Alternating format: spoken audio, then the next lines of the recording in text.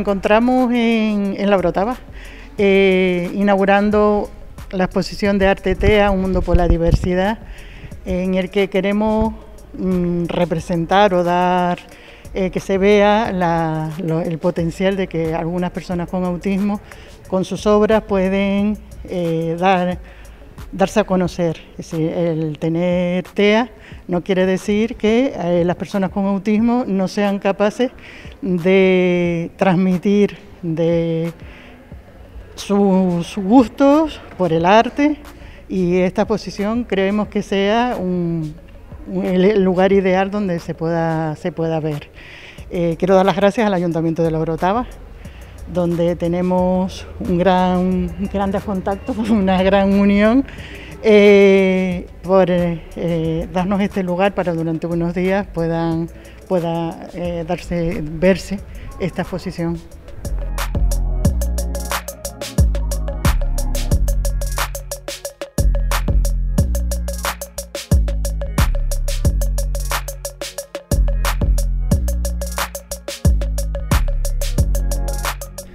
Pues agradecerles que estén aquí y se hagan eco de esta exposición que esta semana está en La Orotava, en el Centro Municipal de Mayores, accesibles a todos y a todas. A Rosy como presidenta de APANATE, eh, aquí en Tenerife. Agradecerles a las profesionales que están aquí, a madres, en este caso siempre madres, mujeres, que se hacen cargo de esa educación de estos niños y estas niñas con TEA.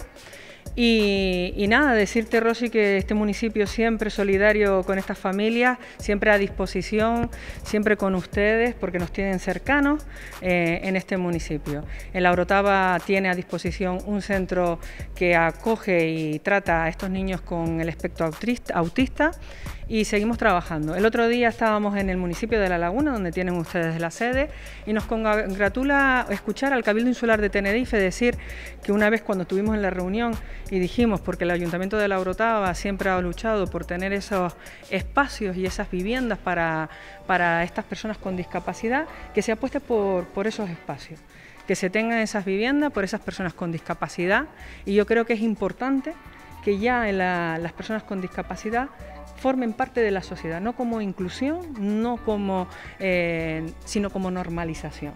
Son unas personas más que tienen derecho a tener esa vivienda en, en los municipios, a vivir de una manera normalizada. Además, como el otro día un padre y una madre que atendía, también la oferta educativa y la oferta laboral para las personas con discapacidad en este campo del autismo es súper importante para tenerlas para ellos y para ellas. Es algo que se deja también atrás y creo que es importante decirlo hoy, trasladarlo a la sociedad. Eh, ya que estamos hoy en esta exposición, que es reflejo de esos trabajos que tienen esos niños y esas niñas, esos jóvenes que hoy quieren decirle al mundo, servimos también, servimos para algo y son fieles tenemos artistas aquí que lo ponen, lo ponen de manifiesto. Así que agradecerles que hayan trasladado esta exposición a la Orotava, tenerlas en esta semana hasta el viernes día 22 de abril eh, y que esperemos que el año que viene también quieran tener la Orotava como esa exposición. Se lo decía antes a Elena y que no sea solo en el centro de la Orotava, sino que el, el tiempo nos permita tenerla en la calle, que la gente lo vea, que sepan que la gente con discapacidad también sirve, sirve para trabajar y para exponer y salir a la calle. Así que muchísimas gracias Rosy, en nombre de esos padres y esas madres que luchan cada día para sacar a sus hijos y a sus hijas adelante.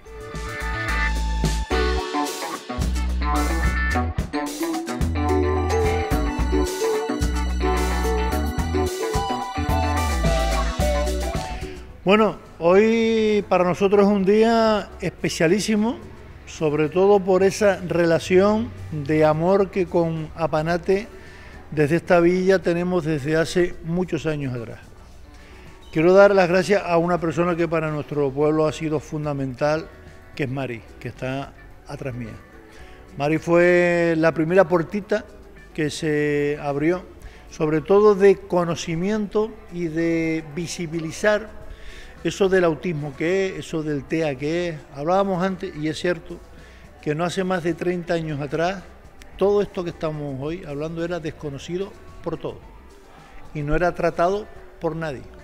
Y había muchos niños y niñas, muchos chicos y chicas.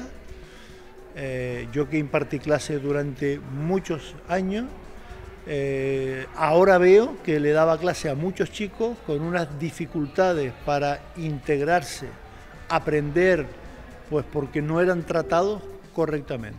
Hoy está aquí Rosy, que es la que está al frente de lo que significa Apanate. Aunque hemos avanzado mucho, queda mucho trabajo por hacer todavía. Queda mucha implicación de las administraciones públicas para que esto no se convierta solamente en un día, no se convierta en ver hoy que estos chicos y chicas son capaces de hacer muchas cosas, que lo son capaces, sino de la integración en la sociedad al 100%. Yo francamente me he quedado asombrado de las ilustraciones, de las, de las capacidades y de el arte intrínseca que estos chicos y chicas tienen.